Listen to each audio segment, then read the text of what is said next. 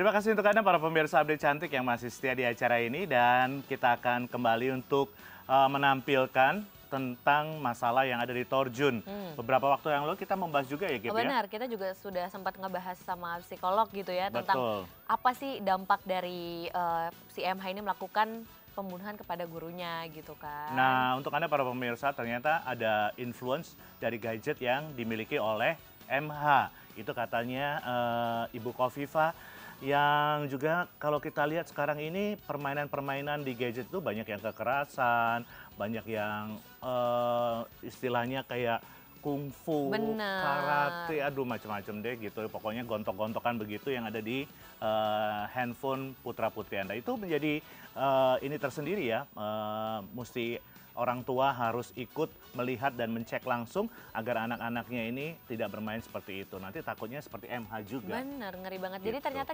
game itu bukan semata-mata untuk mengalihkan perhatian anak. Jadi kita juga harus benar-benar ngawasin ini game ini nih uh, sesuai umurnya dia atau tidak gitu. Hmm. Kadang juga yang sesuai umur juga masih bisa tuh ngelakuin ini padahal dia setidaknya dia udah besar ya, sudah mengerti lah game itu nggak gitulah pokoknya. Begitu ya. Dan untuk Anda para pemirsa, inilah uh, Ibu Kofifa yang akan uh, mengatakan tentang begitu luar biasanya pengaruh game terhadap kekerasan yang terjadi di kasus Torjun.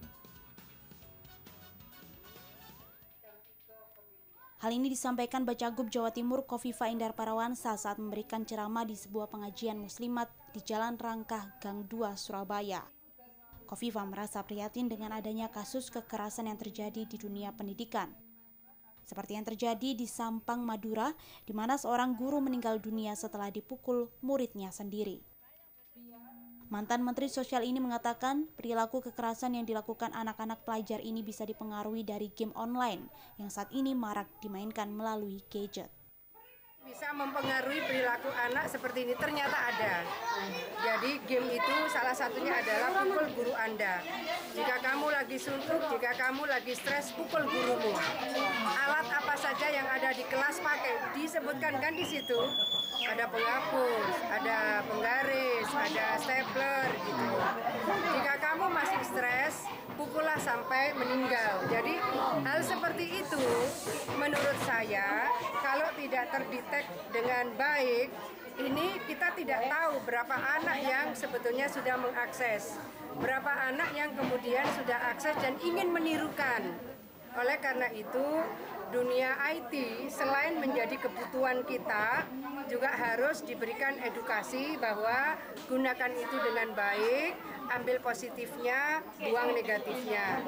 Guru-guru juga harus mengedukasi secara proporsional.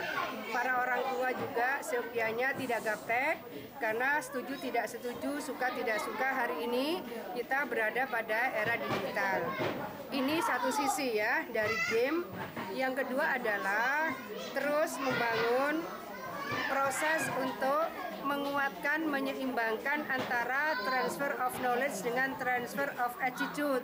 Bagaimana sebetulnya guru akan mentransformasikan pendidikan karakter, pendidikan akhlak kepada murid-muridnya. Para orang tua jangan pernah berhenti mengawal dan mendoakan supaya anak-anak mereka anak-anak yang akan memberikan manfaat bagi bangsa, agama, dan negara. Diharapkan dengan memberikan perhatian, pengawasan, dan edukasi kepada anak-anak, perilaku kekerasan yang saat ini cenderung marak dilakukan bisa dicegah dan diminimalisir.